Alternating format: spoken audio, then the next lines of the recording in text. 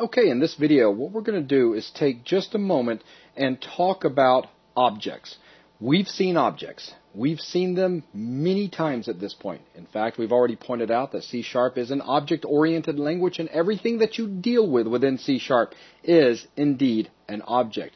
Now, there's something that I want you to become a little bit more comfortable with. While this is not going to be a full-blown object-oriented lesson, as a matter of fact, this isn't going to cover, well, most anything from the world of object-oriented programming. That's going to be coming up in Volume 2 of the XNA Extreme class. I just want you to become familiar with the keyword new and what's happening when you actually create an object from a class. You've seen this. You have seen such cool things as new rooms. How about new item? Remember these from Hyperion? All right, so that's way back then. How about something more recent? How about from Cannon 1 you saw new point? Of course, I'm not writing out all the code. I'm just showing you the keyword and where we were creating an object of a particular class type. How about new, I know, this was a good one, random. Or wait, there was another one. New new size. We saw that too. All right. So all of these you have seen. But what are you actually doing? You are creating a new object from a class. What does that mean? Well, let me show it to you. I'm going to break this down with a very simple class. We're going to make a class called person.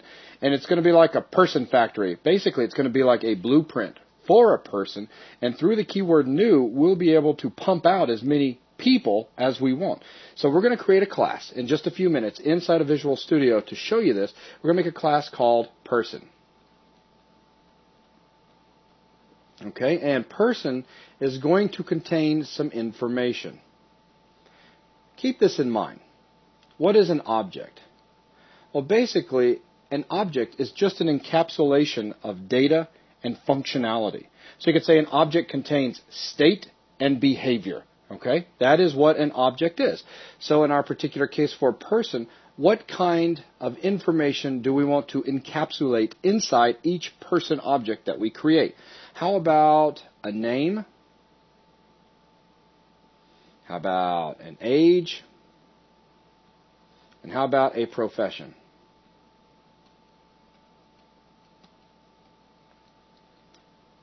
Give it some behavior. What kind of behavior can we give person? And again, I want to keep this very simple. So how about something like identify?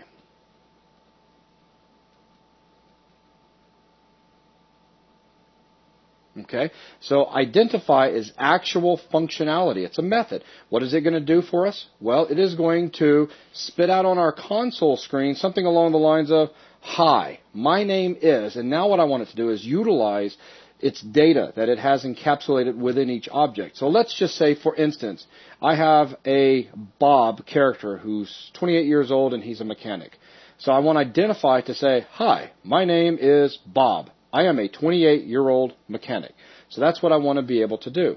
So here we are with our class. So this is our class.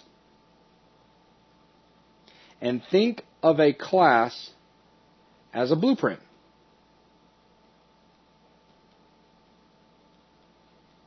for an actual object. So from this class, I can derive some objects. So let's say we create one where it's Bob. Like I said a second ago, and he was what? He was a 28 year old mechanic?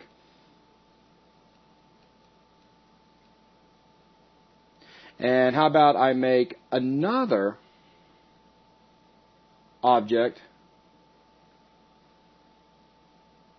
And this one, uh, let's say Mary.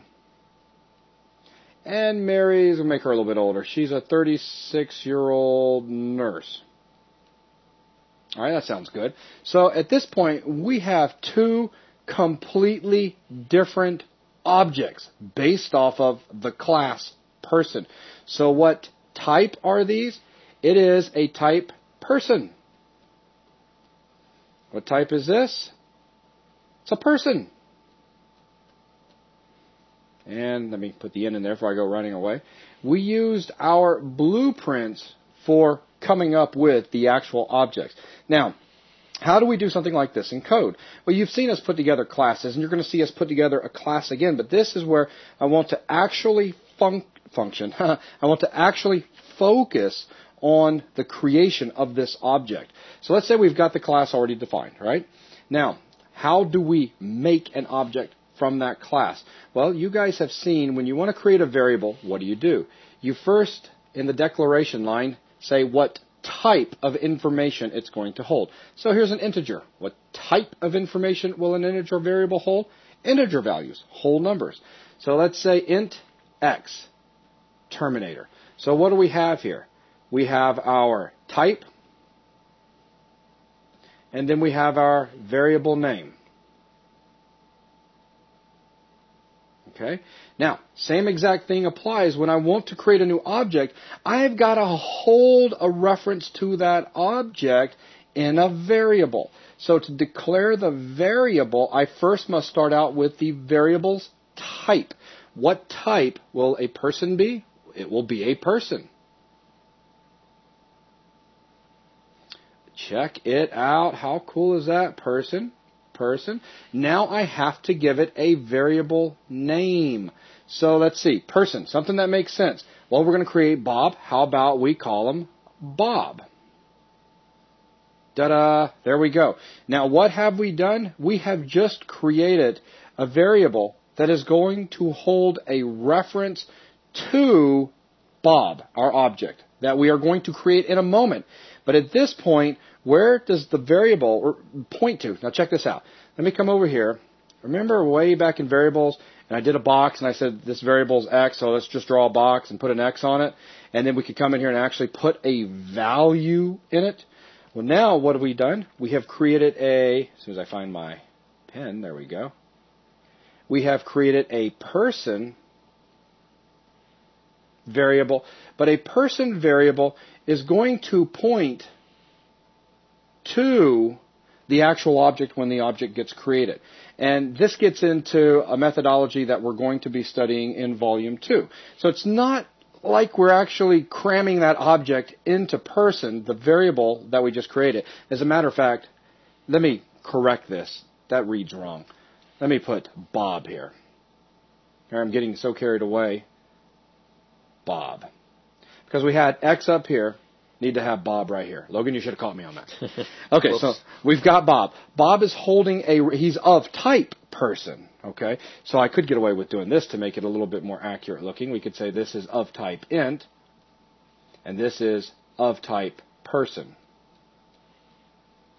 But this is pointing to a, it's basically pointing to a reference of. It is, it's referencing Bob, the actual object. That's what it's doing, as opposed to holding Bob in him. So keep that in mind. So at this point, we have defined up here, as a matter of fact, let me switch this over to a pointer real quick. We have actually defined the variable Bob, and he's going to be pointing to an object of type person. But at the moment, where is he pointing to? Well, at the moment, nowhere. We have not yet created the object for us to point to. So this right here does not exist. We don't have that pointing action taken place yet. So how do we make that happen? Well, we need to actually create a new person. Well, how do we create a new person? how do we create a new person? There we go. So to do that, it's really quite simple. All we need to do now is say Bob is equal to a new person. Boom boom, and there you go. You have seen this before in such wonderful things as new point, new size, new random, new room. Now, hopefully, you have a little bit better of an idea of what is happening because now I can take these two little hash marks out because we are indeed pointing to Bob. But at the moment, Bob doesn't contain any for any information, so it's kind of like we've just created a person with no identity. So let's give Bob an identity. At this point, we now can actually do this. Bob dot name. And we can do this because we are going to stipulate that these data members are public. Again, like I said, I want to keep this class person. Very simple. So we're not going to worry about setting up properties or anything like that. We're just going to put in three public data members and one method. Okay? One public method. So now bob.name is equal to Bob. Bob.age. Well, let me go ahead and use my same. So there we go. Same, my same casing. So Bob.age equals, well, Bob's 28. And Bob's profession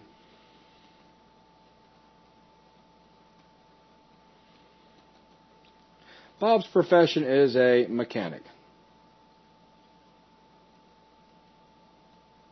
All right, so now at this point, we could call upon Bob to identify himself. We have set the state, and we'll push state and behavior a little bit more later on, but we have set the state of Bob right here.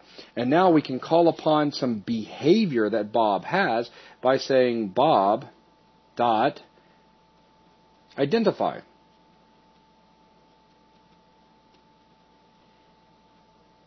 At which point, Bob's going to say, Hi, my name is Bob. I'm a 28 year old mechanic. Ta da! Quite simple.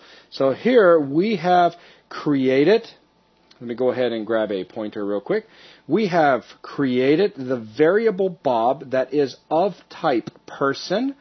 It is after we did the new line, Bob then points to a object, an object that exists I don't want to get too fancy yet. We'll save that for the object-oriented lessons. That exists out there. Okay, so he's now pointing to this object. We then come in here and set the state of Bob by setting his name, age, and profession. So we now have some data encapsulated inside our object. Sweet. And then we call upon some of Bob's behavior. Actually, the only thing Bob knows how to do. He's not a very good mechanic, I guess. All he can do is identify himself. And then he does just that. He regurgitates this information that is being contained within the object through a simple console write line that we will give to Bob's identity, or excuse me, identify method. So very, very simple. I hope you see it as being simple. If we want to turn around and create Mary, well, what are we going to have to do? We're going to need to create another person who is going to be called Mary. And then we need to actually create Mary. Because Mary is just a variable that's not pointing to the actual object yet. So we have to use new person. So Mary's a new person. Boy, I bet she's happy. And then once again, we can set her state by setting her data members and then call on some functionality. In her case, identify. So hopefully this gives you an idea of what's actually going on when you create a class and then you derive an object from that class. Why is all this so important? Well, in the very next video, the first thing we're going to do is create a game item class. And from game item, we shall derive such objects as player. How about, uh, let's see, what else are we going to have? Projectile, target. So you get the idea. So you're going to see things along the lines of game item, player. Well, let's try not to hit that button over there, if I can. So player. And then you'll see things like player equals a new game item. Am I doing a good job of pushing that new word, Logan? Well, it's certainly important because if you're used to working with simple variables, it could become a habit to just define and then turn around and immediately use the variable. Right. And in the case of a class, if you try to immediately use a reference that doesn't exist, then you'll get problems. You got it. So I can't just say person Bob. Bob dot name equals, excuse me, Bob doesn't exist yet. All we have is a variable. So Coming up very soon, in the next video as a matter of fact, we're going to be creating the class game item. And we're going to be deriving objects from game item, player, projectile, etc. So you're going to see things just like I have drawn right here inside this box. So that is why I wanted to have this video. I wanted you to understand what is going on. You've seen this before. I know you've seen it. But I need you to understand what's truly happening when I say new. At least have a basic understanding that, ah, he's now actually creating a new instance of that class. He's creating an object. Gotcha. Very cool indeed. I like it. So Logan, now that we've got this drawn up, if I can get you to turn your attention over to Microsoft Visual Studio, sir. Let us create a very simple console app. All right, let's make a new project, a console application. Now we shall begin off, my good friend, by creating a simple class. All right. Well, we can come over to the project, add a new item, and make sure that class is selected, and call the class. Let's see, we've been working on with person, so we'll make a person class. All right, there's our person class. Okay, and now within the person class, we're going to keep things simple. We shall have three data members. Right. They shall be public in nature because we need to be able to access them from outside of this class. All right, and see, the first one you had was Name. name. All right, so we're going to need a public name is going to have letters and possibly numbers in it, so it will be a string, and it will be called name. Okay. All right, next. But Logan, why are we using casing with a capital N? And why did I draw that back over on the whiteboard? Well, in this case, this is the public version of this of this thing. We don't have a property that we're going to use as an intermediary between the the, uh, the actual data and what you see from outside of the class. So this data member becomes just a bit more important, huh? Right, because you're going to be looking at it in, if you want to call it an official sense, when you're looking at the person and you're looking at that person's actual name, then you want to uh, see that as a as a proper name. Then. That's right. All right, next data item. This one will also be public. This time we're going to have age. Age is a number, so I'll store it as an integer. And of course, it's simply called age. Sounds good. And finally, we have our last public data member. This is the profession.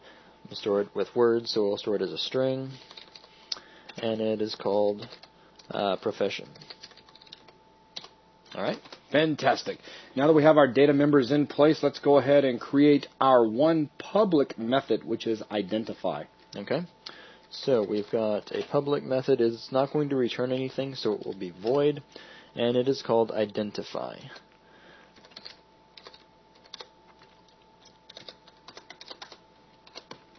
Okay, now we can go ahead and add the functionality into the identify method. And if you recall, the functionality is going to be right out to the console the following. Hi, my name is, and then use whatever data is being stored in the variable name.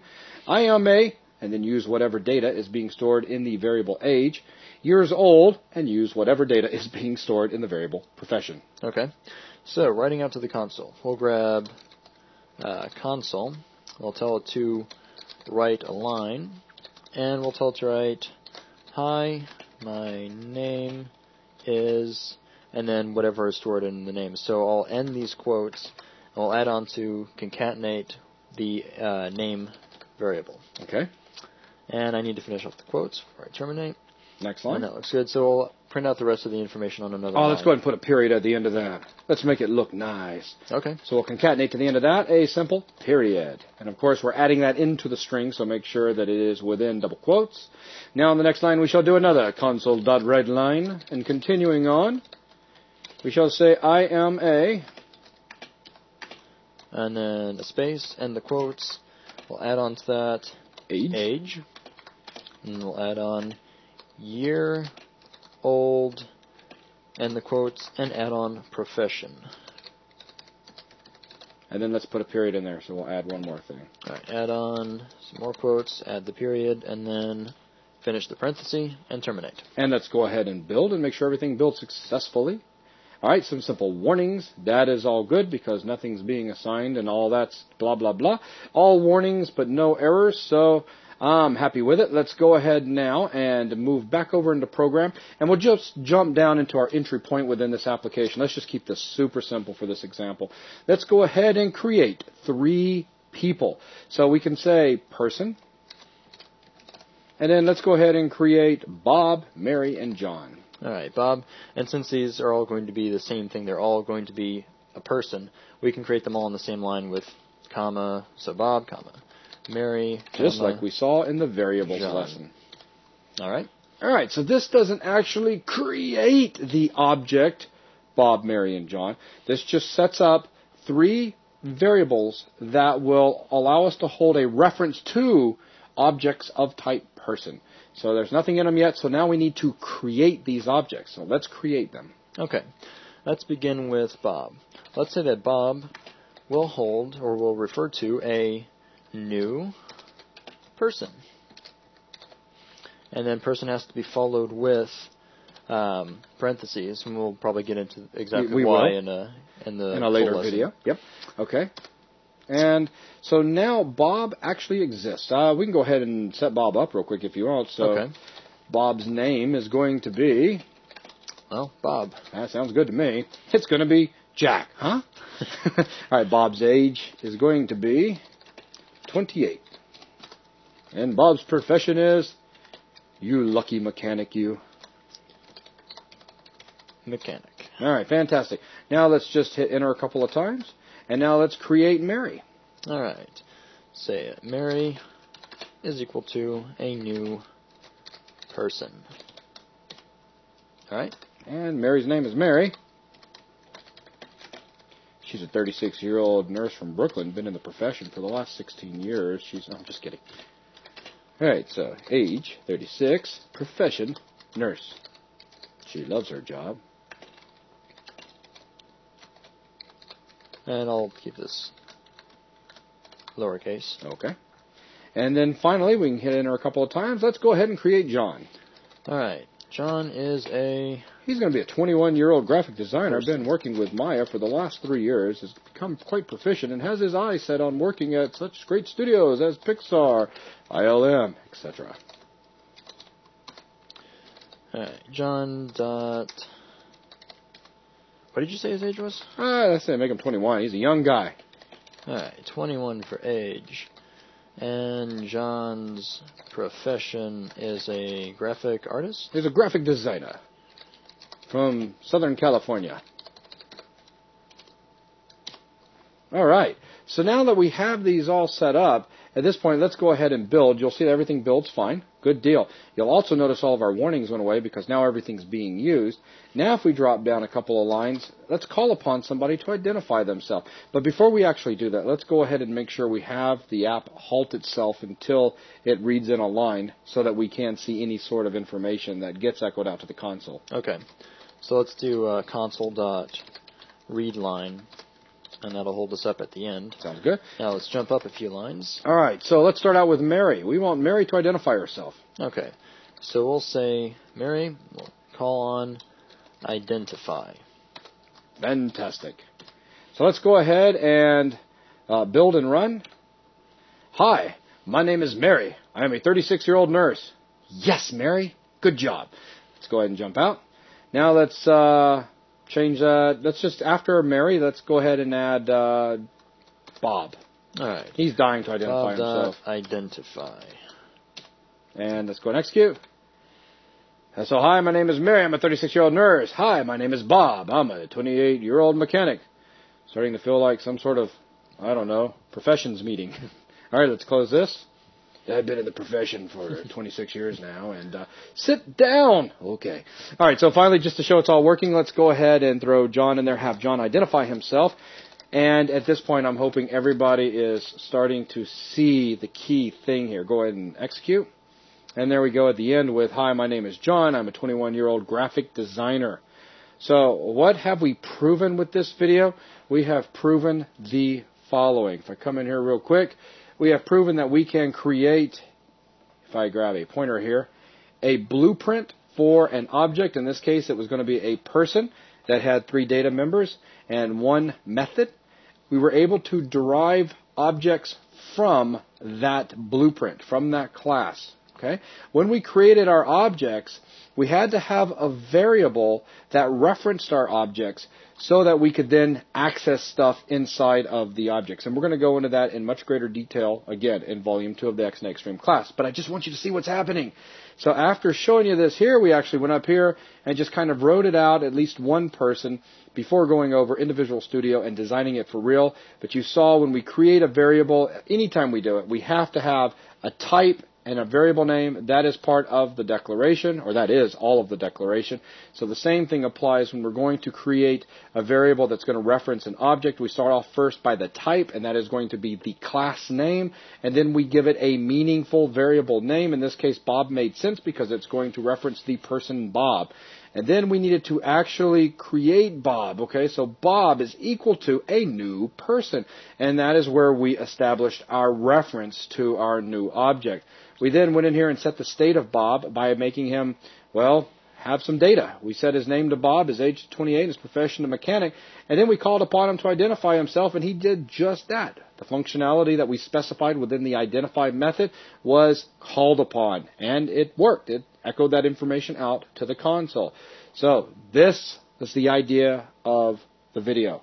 Again, it's a very simple object primer, not going into all the specifics. We're not going into inheritance and encap. Well, there is some encapsulation going on right here, but we're not really talking about encapsulation. We're not talking about oh, they're polymorphism. Oh, there's so many things for us to get into. But all of that is yet to come because I want to make sure all of that gets into the XNA Extreme class. But the reason that we covered all this is because, like I said, in the next video, we are going to be creating the game item class and I want you guys completely, fully aware of how we're going to be generating these variables that are going to reference these game items as they get created. Okay? So with that, that is going to wrap up this video. Thanks a lot.